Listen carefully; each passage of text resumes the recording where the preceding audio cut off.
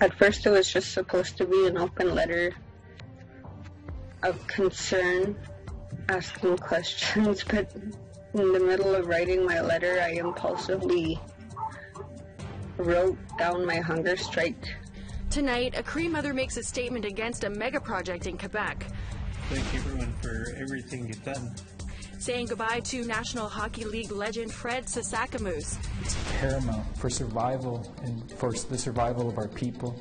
and a mission to save a language in a community with less than 20 fluent speakers remaining.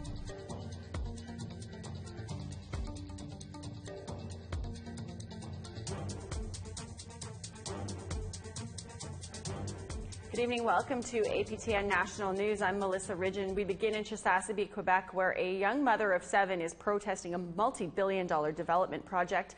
And as Jamie Pashagumskum reports, the woman is on her eighth day of a hunger strike. ça va nous permettre aussi de mettre en valeur l'énorme potentiel minier du nord du Québec, tout en préservant l'environnement. The deal was signed in February and will see the construction of a seaport and rail line to support mining projects in the Cree territory. One of the nine Cree communities affected by the deal is the Cree Nation of Sasibi. House and a group of Sasibi youth are against the project. At first, it was just supposed to be an open letter of concern, asking questions, but in the middle of writing my letter, I impulsively wrote down my hunger strike. So uh, it was out of impulse and instinct, I guess. I'm not sure. House said she wants better consultation with the Cree Nation youth and elders. For the past eight days of her hunger strike, House has been sustaining herself on the broth of caribou, fish, and today she's drinking ptarmigan broth. One aspect of concern to Sasibi residents is that House is currently breastfeeding her four month old baby. I've talked to elders. They said um, there's a lot of nutrients in broth. There's a lot of nutrients in caribou um, bone marrow or any kind of animal bone marrow when you make the broth and drink it and learn how to make it. There's a lot of nutrients there, and our our people survived on a lot less a long time ago, and their children were fine. House said she was contacted yesterday by Grand Chief of the Cree Nation, Abel Bosum, where she told him her demands. That's when he told me it's a non binding document, and that's when I asked him if it can be revised. The Grand Chief's office issued this statement. The Cree Nation government invites all points of view. It is the voices that call for the preservation of the land, the Cree way of life, and the protection of wildlife that will make our development strategy truly unique and balanced. House said she will keep up her hunger strike for as long as it takes. A Sasibi community meeting will be held Friday to discuss the mega project. Jamie Pashagumskum, APTN National News, Sasibi, Quebec. Joyce's Principle, the Atikamekw Nation's plan to improve health care isn't getting a passing grade from the Quebec government. The National Assembly is refusing to implement it fully, objecting again to the term systemic racism. Joyce's Principle is named for Joyce Echaquan, who died in a Joliette, Quebec hospital in late September. Liberal Party MNA Gregory Kelley's motion to adopt it officially fell flat on Wednesday. The document calls on Quebec to recognize its role fighting systemic racism. Indigenous Services Minister Ian Lafreniere says this only uh, that, that the only point uh, that is the only point that Quebec disputes. He says the rest of the plan is workable. Ceci étant dit, dans notre travail, dans euh, l'approche qu'on a avec les Premières Nations, notre approche sur le terrain, on a déjà dit que ça prenait de la formation dans le milieu de la santé, on a déjà dit aussi que ça prenait des navigateurs. Et ce qu'on a reçu dans le principe de, Joyce, qu'on a reçu de la part de la Nation Antikamekw, ce sera des guides, ce sera des références pour nous, pour nous aider dans l'application de ce qu'on veut faire, qui, euh, pour nous, est du très tangible. Ça va nous permettre d'aider les Premières Nations, d'aider les gens sur le terrain de façon très pragmatique. Là, encore une fois, on salue ce travail. Starting December 1st, masks will be mandatory in all indoor public places in the Yukon. In the past week, the territory reported 14 new cases of COVID 19, the highest number of confirmed cases since the pandemic began. Following the spike of cases in BC, the Yukon has now reintroduced COVID 19 control measures that include people entering the territory to quarantine for 14 days.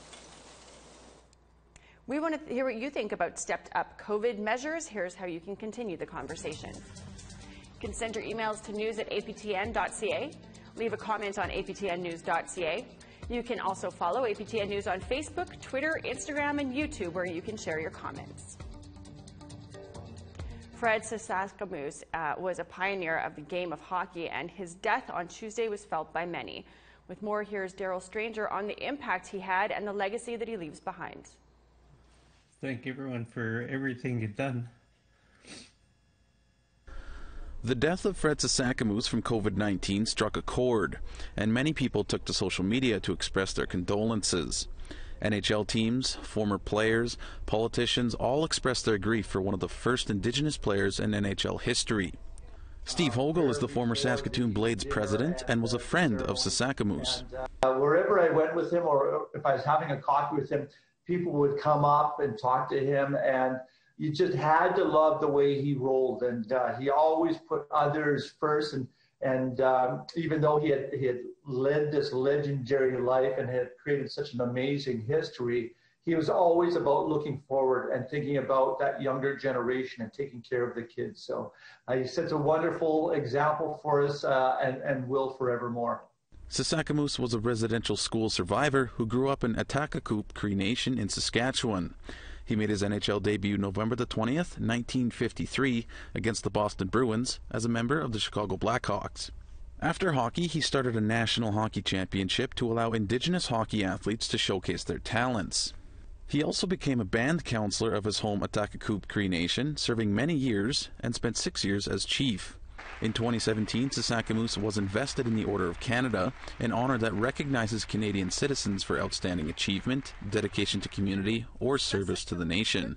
He, he believed in his uh, in his culture, his language, his people, he believed in us getting along with uh, non-native people, races around the world. Uh, he, he believed in a lot of good qualities of what we should be striving for. He inspired many Indigenous hockey players after him, such as Manitoba's Reggie Leach, among others. Fred Sasakamoose was 86 years old. Daryl Stranger, APTN National News, Winnipeg. Wishing him a safe journey, and our hearts are certainly with those who are grieving his loss. Well, we have to take a break, but still ahead, saving languages that are nearly extinct in the Yukon. I was inspired by smoke signals. Chief Leonard George on smoke signals, he does a, a road report, and it's hilarious.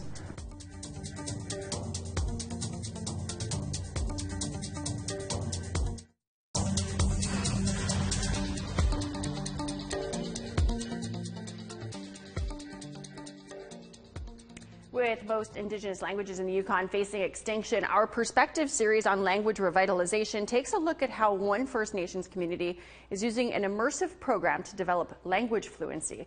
And as Sarah Connors tells us, the results have been promising.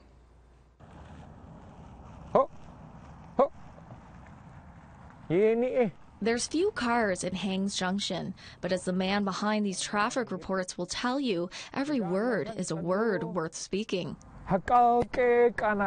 Kashaw is from Champagne and Aishihik First Nation and makes road reports in his ancestral language of Southern Tutchone.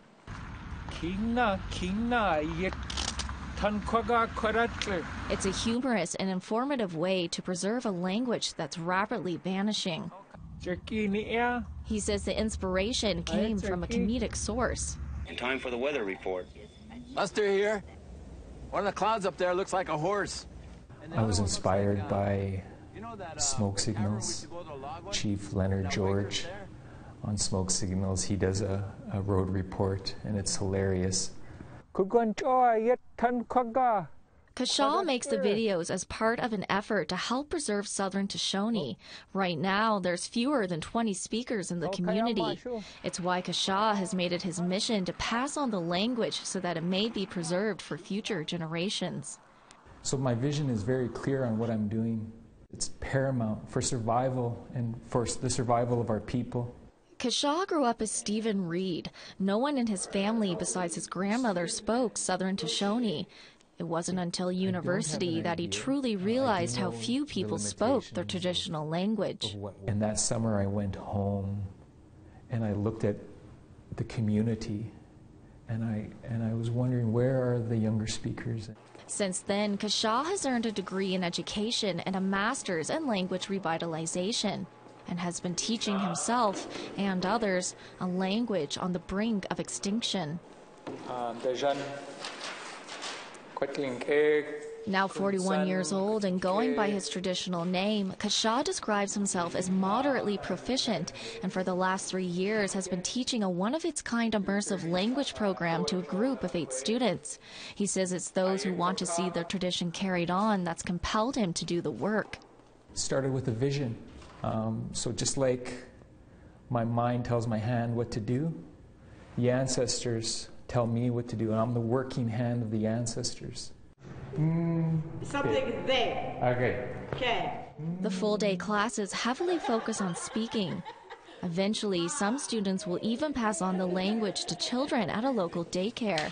Kashaw says the results are promising. Our younger students are are hungry for the language.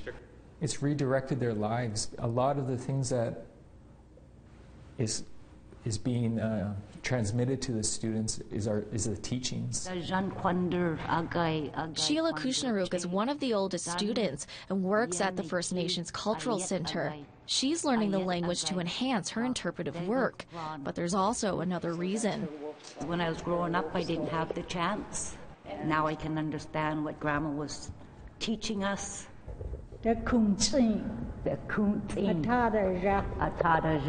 The First Nations invested $1 million into the program so students like Kushnaruk can attend classes without worrying about finances. Now she plans on passing on what she's learned to the next generation, something she never thought she'd be able to do.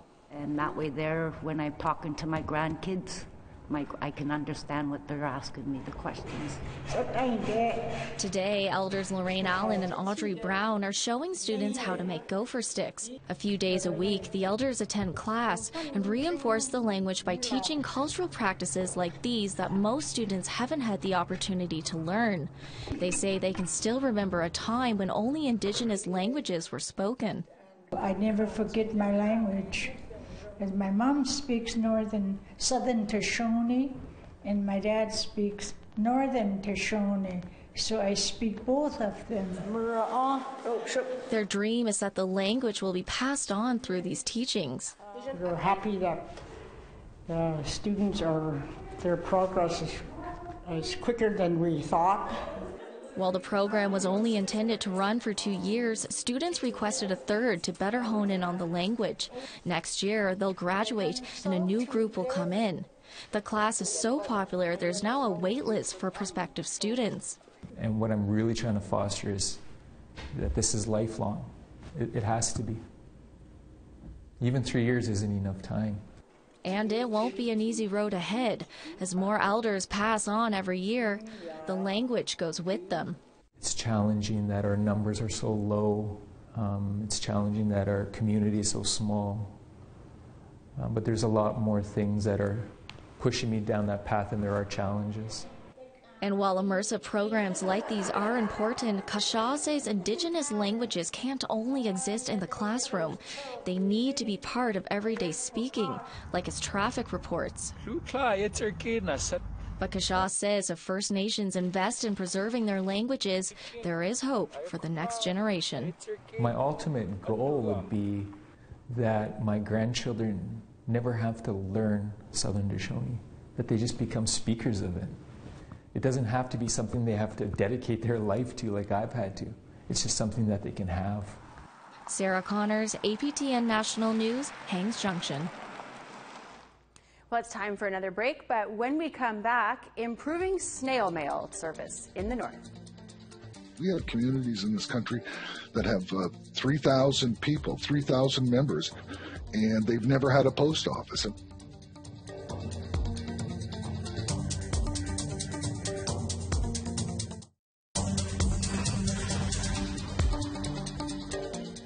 Welcome back. It's time now for our photo of the day.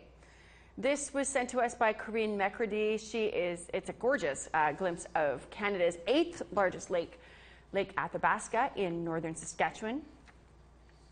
Keep those great pictures coming. We love your scenery, your cute kids, interesting snapshots from the land. Send your photo to share at aptn.ca, and you might see your photo as our next photo of the day. Time now for a look at tomorrow's weather forecast. To the east coast, we've got 6 with a mix of sun and cloud in Charlottetown, 10 and rain for Halifax. Kuujjuaq minus 8 and snow, Nain sunshine and minus 7. Quebec City snow and 2 degrees, Sept-Îles minus 3 and sunny skies. Toronto 10 and showers, 5 and showers for Ottawa. Kapuskasing 2 degrees and a mix of sun and cloud, 2 and snow for Wawa. Minus 12 in snow for Churchill, God's Lake minus 4. Zero in snow for Winnipeg and Brandon, minus one in snow for Dauphin. Regina minus three and snow, minus one in rain in uh, Fort Battleford or North Battleford, minus seven Buffalo Narrows and some snow, minus 13 in snow for Stony Rapids. Sunshine and three degrees for Grande Prairie, one in snow for Peace River. Edmonton sunny and two degrees, three in rain for Lethbridge.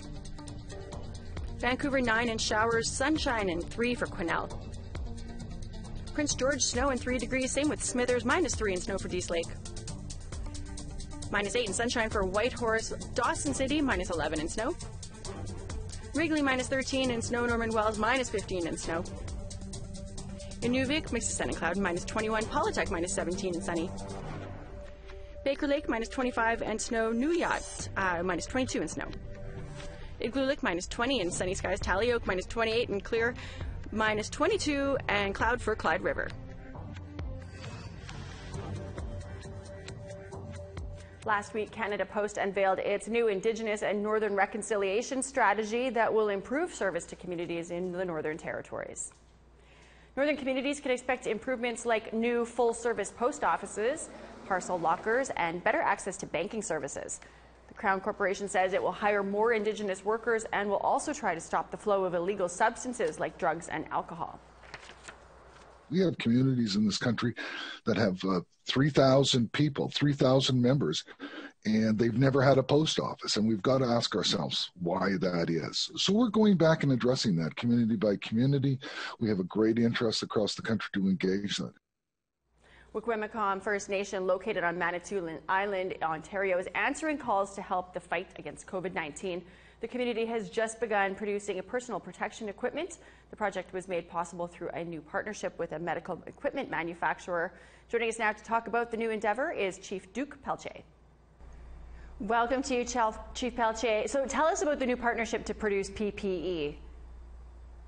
Well, the uh, We've uh, just recently completed our industrial park here in the community, and as uh, word got out that we have uh, space available for uh, corporate ventures and partnerships, uh, we were approached by First Nation Procurement Incorporated, and they have a partnership with Dentex Canada to produce personal protective equipment and um, and namely their, their flagship uh, product, the FN95 uh, respirator, that's uh, going to be available and produced here in our, in our community. And what does it mean to your community? Well, it's a very substantial amount of employment opportunities where they're welcoming um, 50 individuals to uh, for long-term sustainable jobs that are very well paying uh, manufacturing positions and um, this is uh, akin to a city receiving uh, two or 3,000 employees, uh, so it's uh, quite significant. This is amazing news. And how soon will the facility be running at full capacity then? Well, they're uh, still, they, they, are producing currently, and uh, they expect to be at full capacity by the mid December. You said these are long term jobs. Is this a permanent endeavor? Yes, uh, they uh, had signed an agreement for five years of uh, renting the building, the facility that we have. So uh, we we uh, estimate that uh, as long as there's pandemic and there's a need for masks, and I believe that some of the contracts that the that have been secured were for medical facilities. So it is definitely long term. Well, thank you for taking the time to share this with us, and congratulations. This is great news for your community for sure thank you very much for uh, spreading the word, and um, uh, thank you. Indigenous Fashion Week Toronto kicks off tomorrow, and so it seemed appropriate that today we put our fashion and glam in focus. What we wear is something that we should all put more thought into, not just to be more stylish, but stylish, but to be less destructive to the planet while supporting sustainable clothing and, if possible, our own designers. And there are some little ones that you would um, also want to support. Here's some highlights from today's In Focus our clothing is there's much more than just what we choose to wear. Mm-hmm. Um, it really goes into the environment, the protection of the environment, um, the way people are treated, the way that we represent our cultures. Mm-hmm. Um, so when you make that decision when you're getting dressed this in the morning, um, think about how what was the impact on the environment. Um, if it was made locally, if the fur or leather was hunted locally, or if it was mass farmed, um, where the way the fabric is dyed. Um, and then also just the the overall ethical thoughts around like representation of culture. Mm-hmm. And so these are the kinds of things we really should be thinking about when we're putting when we're getting dressed in the morning. And that goes down to making more um, conscious consumer decisions, like thinking about who made my clothing, mm-hmm. who made the very fibers. And I think we could also do more to make the connection that indigenous fashion, you know, gets us back on our land. It gets us working with elders, working with knowledge holders. Um, like the supply chain that goes into making indigenous fashion um, is so community focused and it, it, it's so supportive of our goals for cultural resurgence, language revitalization. Like you need all of those pieces working harmoniously to get indigenous fashion. Uh, and I think there's things that we could just do to discourage, you know, fast fashion consumption. Mm-hmm. Um, there's no reason why you need, you know, a new outfit every month or you need to be keeping up with seasonal trends. Like, um, I, um, this is a cocoon material, and I love scrunchies. Um, and then put that together and made a cocoon scrunchies. um, you're Algonquin. How did, does, does your culture factor into your scrunchie designs, aside from obviously the Kukum scarf? Um, they Kukum's would used to wear the uh, the the Kukum scarves on their heads if they would go outside. Kukumscrunchies.ca is where you can get those scrunchies. Now there's another way to get your Indigenous news coverage. We're on TikTok. We've recently joined the popular video sharing platform. Take a look at our first post. CNN categorized a race of voters as something else during live coverage of the American election results. Indigenous people on either side of the medicine line took the label to mean them. The internet did the rest.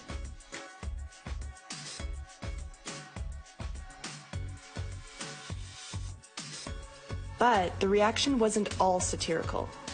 Many took serious issue with the coverage, pointing out the colonial implications of the something else label, saying it erases and minimizes Indigenous people's impact on the political landscape of the United States.